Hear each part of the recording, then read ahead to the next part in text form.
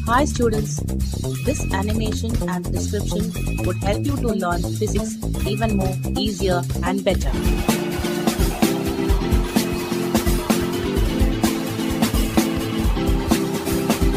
So please do watch it and enjoy learning physics.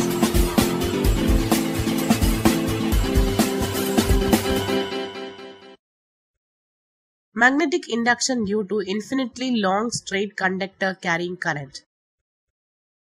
XY is an infinitely long straight conductor carrying current I. P is a point at a distance A from the conductor. AB is a small element of length dl. Theta is the angle between the current element I dl and the line joining the element dl and the point P.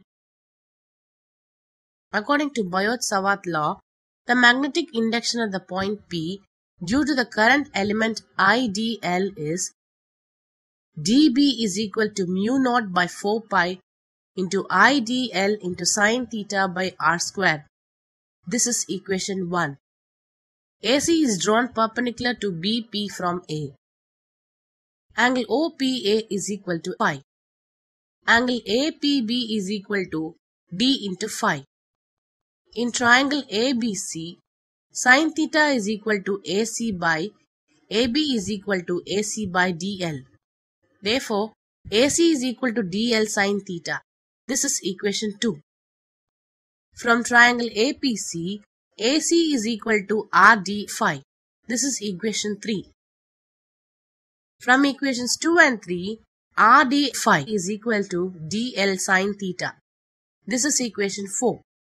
Substituting equation 4 in equation 1, dB is equal to mu naught by 4 pi into I into RD phi by R square is equal to mu naught by 4 pi into I into d phi by R. This is equation 5.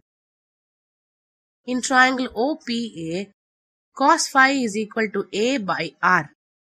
Therefore, R is equal to A by cos phi. Substituting equation 6 in equation 5, dB is equal to mu naught by 4 pi into I by A into cos phi d phi.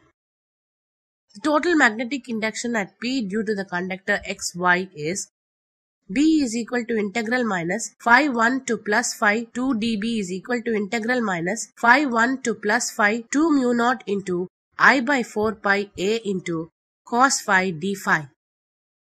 B is equal to mu naught into I by 4 pi A into sine phi 1 plus sine phi 2.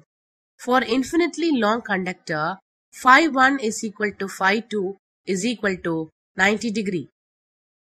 Therefore, B is equal to mu naught into I by 2 pi A. If the conductor is placed in a medium of permeability mu, B is equal to mu into I by 2 pi A.